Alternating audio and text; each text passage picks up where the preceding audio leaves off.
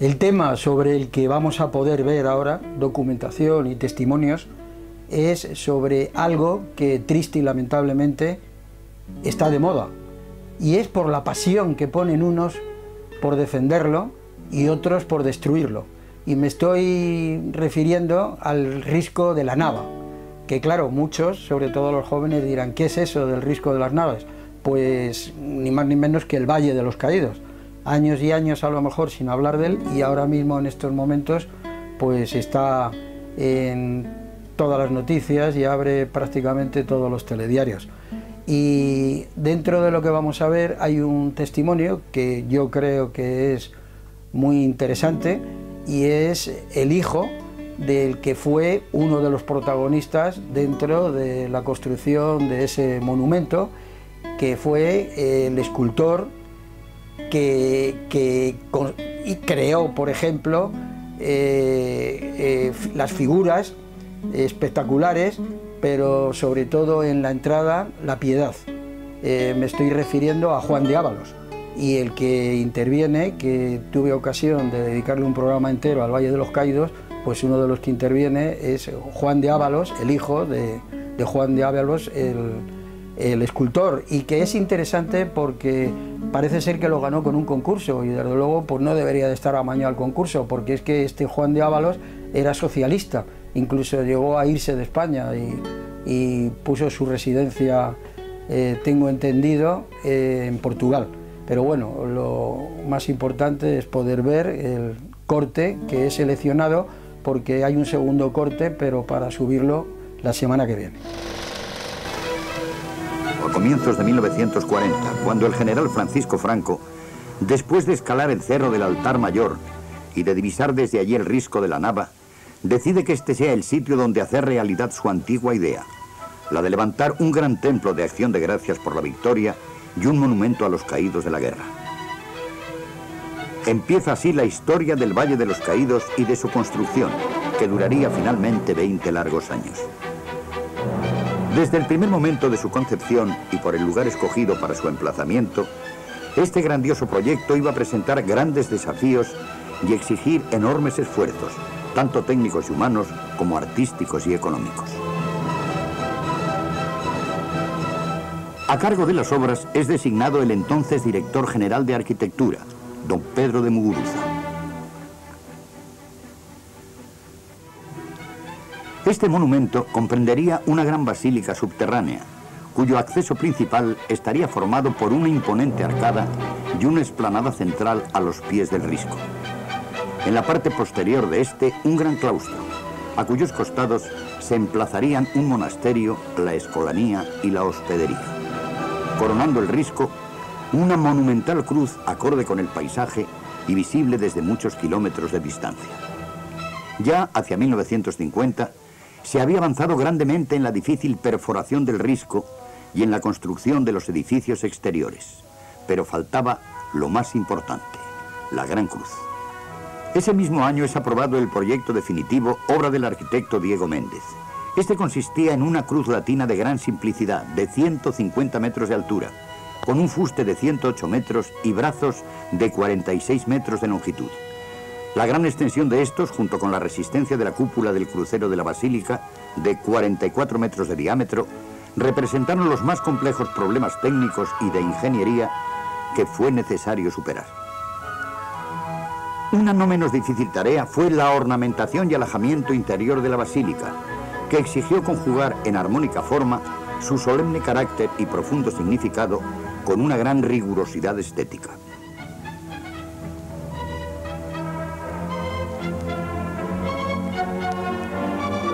Quizá el más brillante y representativo ejemplo lo constituye la magnífica decoración en mosaico de la cúpula del crucero, obra de Santiago Padroz.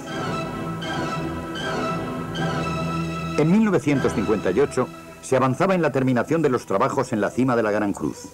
Asimismo, proseguía la construcción de la magnífica esplanada de acceso a la basílica, que comprendería una superficie de 30.600 metros cuadrados en loza de piedra asentada directamente sobre la indómita roca.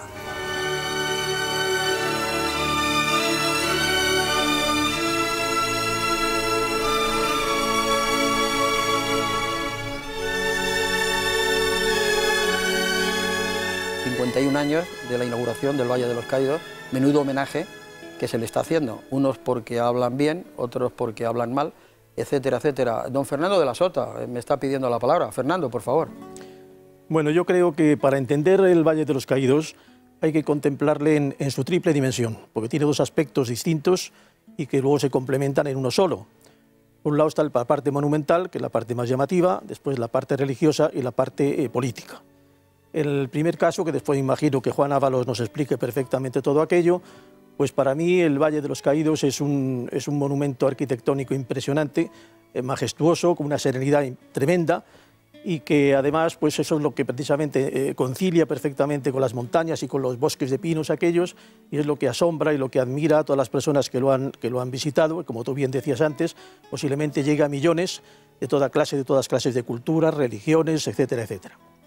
En segundo lugar está el aspecto religioso, porque el Valle de los Caídos es fundamentalmente un monumento religioso, porque, bueno, porque allí están enterrados precisamente un montón de, restos de los, dos bandos, que está encomendado, como se sabe, a la comunidad benedictina, que está cumpliendo ejemplarmente la misión de rezar permanentemente por los muertos, por todos los muertos, que además, como me imagino que después nos dirán mucho mejor que yo los representantes de la Iglesia que tenemos aquí, en su momento pues lo, conoció el Papa Pío XII y le concedió la categoría de abadía, que más tarde Juan XXIII en un breve pontificio lo, eleva a la categoría de, basílica y que además le concedió, le privilegió con una bula especial.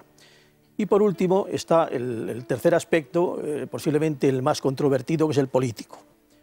Eh, todos sabéis perfectamente que todos los, historiadores coinciden en una cosa fundamental, y es que los hechos históricos hay que tratarlos siempre, hay que estudiarlos dentro del entorno que se producen, depende con las circunstancias históricas, políticas, sociales o económicas. Y el Valle de los no puede ser una excepción. Entonces, claro, no cabe duda que hay que considerar lo siguiente, y es que en España hubo una guerra, una terrible guerra de tres años, y que como todas las guerras, pues las ganan unos y los pierden otros y normalmente en todos los países donde esto ocurre, pues el ejército, digamos, vencedor, pues siempre erige algún tipo de, recuerdo a esa victoria y a los muertos. Bien, hasta ahí todo, todo parece normal, pero lo fundamental, especial mito y la singularidad del Valle de los Caídos son dos. Primeramente, que aquí hay muy poquitos, muy poquitos signos partidistas se pueden contar con los dedos de la mano y posiblemente sobran dedos. Y en segundo lugar, bueno, que, tiene una cosa, como digo, singular y única, que es que dentro están enterrados los restos de un lado y de otro. Y según parece se, se deduce de los archivos que existen en el valle, pues hay más restos posiblemente de la zona republicana que de la zona nacional. Esto es un caso único, porque fijaros, por ejemplo, que en Estados Unidos, pues resulta que allí no están enterrados los, los muertos, digamos, del norte y del sur de la guerra de secesión, ni aquí tampoco en España están enterrados los carlistas o los liberales, pero en el Valle sí, en el Valle están precisamente los que se enfrentaron en un momento determinado durante tres años, después ahora reposan allí bajo el signo del perdón de la cruz. Eso a mí me parece fundamental. Muy bien, pues si me permites para repartir tiempos y sobre todo para repartir temas, pues me gustaría yo eh, provocar a don Juan de Ábalos eh, que hablara pues, del tema de la importancia. ¿Él qué va a decir? Fue su padre. Pero yo quiero añadir, si me permites, Juan, aparte de lo que he dicho al principio, cuando os he presentado, de la magnitud del arte y la creatividad, a él le gustaba que le dijeran picapedrero, porque él con el utensilio con el que se trabajaba, el trabajador que trabajaba la piedra, esa piedra de la Sierra del Guadarrama, él creaba arte. Y está ahí, ese arte, que ese arte pasaremos todos, no existiremos y eso tiene que existir por los siglos de los siglos, para las generaciones, para el disfrute de las generaciones que están por nacer. Pero es que, para que nadie tenga ninguna duda, es que eh, el artista, el escultor, eh, tu padre, no era absolutamente nada dudoso. Llegó a exiliarse en Portugal y, bueno, llegó a tener el carné número 7 del Partido Socialista de, de Mérida. Y resulta que, que él consiguió hacer esa obra porque ganó un concurso. Lo podía haber ganado otro. O sea, que no se lo dieron porque él fuera eh, del régimen y comulgaba. Desde luego lo que yo me pregunto es qué diría tu padre habiendo sido carné número 7 del Partido Socialista, si luego sus sucesores, entre comillas, en ideología, hicieran y estuvieran intentando por lo menos hacer la barbaridad que pretenden algunos de ellos. Bueno, pues eh, efectivamente nosotros eh, estuvimos exiliados no eh, voluntariamente en Portugal. bueno, allí cumplí yo mis, mis 11 años. Y porque mi padre fue purgado de todos los cargos públicos, él en este momento habría sido catedrático de, la Cátedra de Artes, de Bellas Artes y Oficios de, eh, en, España, dada la progresión impresionante que tuvo eh, como profesor eh, ya a los 19 años. entonces, bueno, pues desde Portugal se enviaban esculturas, porque en, Portugal había una orden donde cualquier edificio importante tenía que llevar algo de escultura y algo de pintura. Entonces esta, orden impulsó las bellas artes y hubo talleres, los que ahora aquí se, llaman lofts, donde había en la calle Cuello da Rocha, en, Lisboa, se establecieron una serie de pintores, Sancho Teixeira, Ferreira, eh, Bonifacio Lázaro como pintor, y desde allí eh, se enviaban a las exposiciones nacionales obras. En esa, una de esas exposiciones, después de haber varios concursos eh, eh, fallidos para seleccionar al escultor, mi padre curiosamente envió una obra que era crítica con la guerra civil. Era El héroe muerto. es un hombre joven que eh, sostiene entre sus brazos al hombre, al amigo herido y muerto en combate. Eh, porque mi padre eh, tuvo una sensibilidad tremenda en la, guerra, en la guerra civil. Él, efectivamente, pues fue, eh, fue salvado en el último momento. Bueno, tu padre era, fue republicano, ¿no? Fue, era republicano, se significó sobre todo en todos los actos de la cultura que la República celebró en Mérida, en las primeras representaciones del teatro romano. en fin, él, cuando vino el, presidente de la República a, a Mérida, fue una de las personas que lo acompañó como uno de los, de, los agentes culturales más, más, eh, eh, jóvenes y más importantes de, de Además, a mí me han llegado a contar de gente que estuvo al lado de tu padre cuando tu padre realizaba el trabajo, que tu padre estaba verdaderamente emocionado, que en esos momentos pensaba más en lo que significaba la labor, su granito de arena o de piedra, nunca mejor dicho, que aportaba a esa gran obra por la reunificación, por eh, no olvidar para que no vuelva a suceder, pero sí olvidar odios y rencores.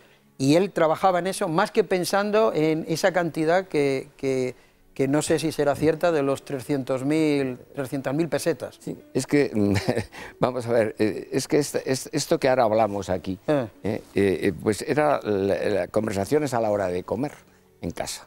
Yo ya tenía una edad como para comprender y entender la dureza que, fue, que supuso para mi padre este encargo es decir, eh, hay que pensar que eh, en, casa la opinión era contraria al régimen. ¿Eh? sobre todo mi madre especial, especialmente el sufrimiento que padeció pendiente de que mi padre fuera o no fusilado cuando entraron las tropas nacionales en Mérida, luego al final fue incorporado al ejército nacional y flanqueado por, por las tropas los moras y, los legionarios, fue mandado en una, en una compañía de choque al frente de Andalucía de las cuales creo que quedaron tres, según él me, contó. Yo preguntaría a don José Manuel Cabezas, Cañabate, eh, doctor en Derecho Canónico, que yo creo que dentro de, lo que son las leyes de la Iglesia, eh, me gustaría saber ahora mismo qué opina, con las leyes en la mano, la Iglesia,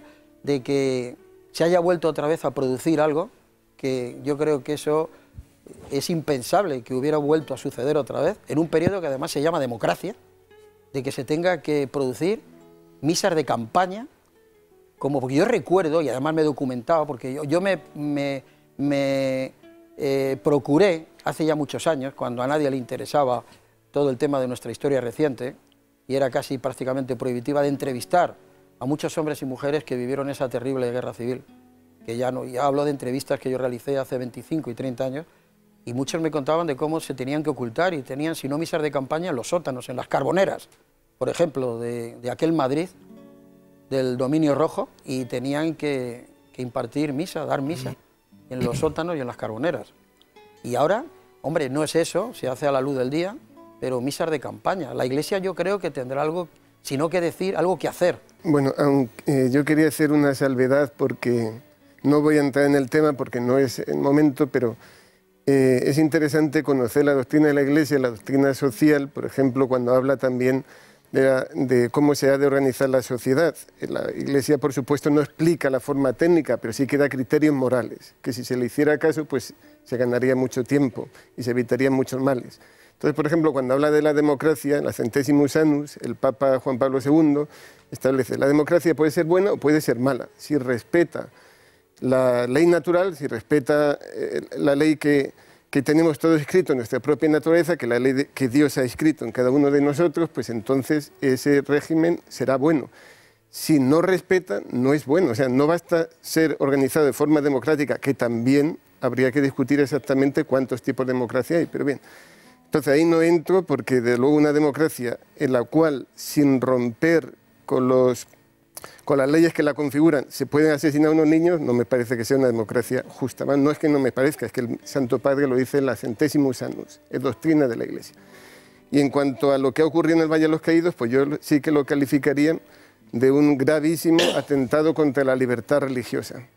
Gravísimo atentado porque, desde luego, en lo que es Europa Occidental y que yo tenga conocimiento, no ha, desde que cayó el, bueno, y antes, o sea, en toda Europa, desde que cayó el muro de Berlín, ciertamente no habíamos visto que se impida, por medio de la autoridad pública, el acceso libre al culto divino.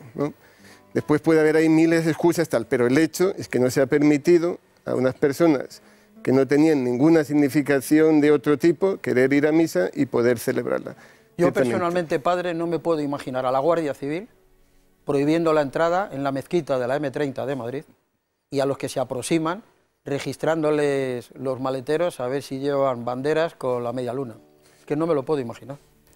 No, no, seguramente que con eso no se atreven, pero ciertamente que es que ahora que aquí se está eh, precisamente dando todo tipo de facilidades y hasta ayudas públicas a otras religiones y a otras cosas que habría que ver si de verdad son religiones, que la religión que profesa el 90%, 80% de los españoles, que además ha, hecho toda nuestra historia, ha creado nuestra cultura, pues que se, se, trate así. Además, una iglesia ya puesto, que antes ha dicho don Fernando, tiene la categoría de basílica, pues ciertamente es un atentado aparte que se incumplen no solo la Constitución española, sino también los tratados internacionales, el tratado con la Santa Sede, por el cual se reconoce libertad a la Iglesia para desarrollar su ministerio apostólico, libertad de culto, libertad de magisterio, libertad de jurisdicción, que han sido violadas en este caso, eso está claro.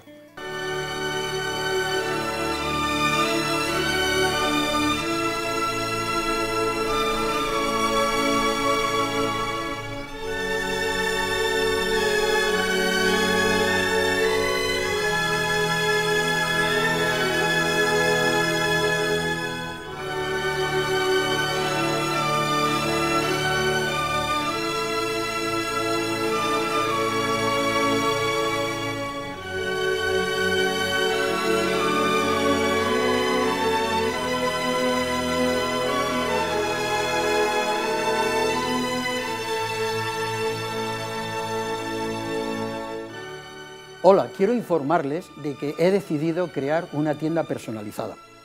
Les explico. Si ustedes llaman al teléfono que aparece en la pantalla, yo personalmente les voy a atender. Para mí será un honor. Y les voy no solamente a proponer, sino podré escuchar cualquier tipo de sugerencia para poder adquirir parte del trabajo que vengo realizando hace ya algo más de 40 años. Documentales, programas de televisión, tocando lo que es la intrahistoria, la música en todos sus estilos, la copla, el flamenco, la historia del pop y del rock español, pero también la historia del cine, de la radio, de la televisión, la moda, la automoción y, ¿por qué no?, también las guerras, desde la guerra de España con Cuba y con Estados Unidos, pues hasta la campaña de Sidi Ifni y la campaña de África con Abdel Krim, la guerra civil, los tiempos de la República, todo eso lo van a poder adquirir en soporte DVD. no solamente ya producción que tengo realizada y que ya existe en el soporte de DVD, sino que si, por ejemplo, ustedes me comentan y me dicen, eh, vimos una vez un programa suyo sobre la independencia de Guinea, pues yo les fabrico expresamente para ustedes ese programa que era la independencia de Guinea. Y también, si ustedes lo prefieren o les apetece, yo les puedo facilitar mi libro, España en mi memoria, con más de 100 fotografías a todo color y donde cuento cantidad de anécdotas con algunos de esos de más de 7.000 personajes que he tenido la suerte y el honor de poder entrevistar. Ya lo saben, al teléfono que aparece en la pantalla y les atiende un servidor, Alfonso Arteseros, personalmente. Por supuesto, el libro se lo puedo dedicar y cualquiera de los DVDs que ustedes me soliciten. Muchas gracias.